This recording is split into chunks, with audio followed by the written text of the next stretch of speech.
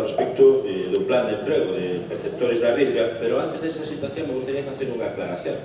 Eh, evidentemente, as explicacións da Conselleira non me convenceron, sobre todo cando a Conselleira dice que empieza a investigar a trama no 2012 e a subvención se otorga a ZNET a, no segundo semestre de 2013 e se publica o Benres, por tanto, non hai ninguna publicación posterior onde diga que eso non se pagou. Por tanto, as explicacións son bastante eh, suaviñas ou difíciles de entender e, desde logo, inciden máis a necesidade de que vostede explique o que aconteceu con esa situación.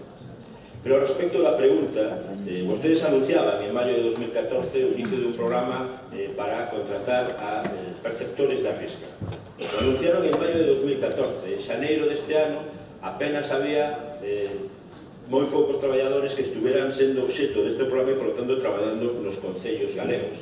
E a pregunta originaria era a que se debía este retraso, porque non se entendemos que o que se está utilizando é a perceptores da risga como man de obra electoral para o Partido Popular. E me explico.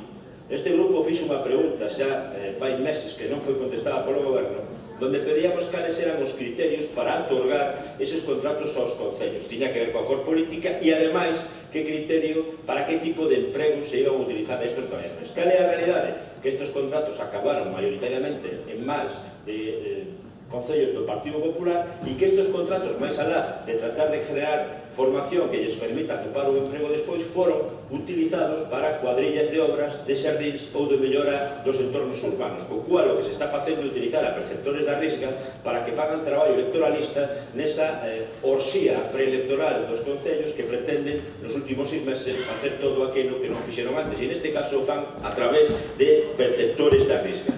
Pero non só isto, hai un problema engadido moitos perceptores da risga, moitos máis dos que se eh, percibiron eh, esta axuda foron expulsados da riga simplemente porque non aceptaron as condicións que lles poñía o Concello e, polo tanto, foron expulsados de, dese programa de percepción de axuda. Se eu lle pregunto, cantos foron expulsados e por que motivos? Me pode explicar vostede como hai un programa que obriga a un traballador a aceptar cal, calesquera condición que lle poña un Concello para traballar e seguir recibindo a risga? E, sobre todo, Como van a vostedes a solucionar despois o problema de que estes traballadores volven a situación de desemprego e non teñen risga e volverán a esa lista de espera que en Galicia é tan indecente como que non cobra nada tarda máis de nove meses en percibir a risga, no mellor dos casos nove meses, na realidade en moitos casos máis de un ano.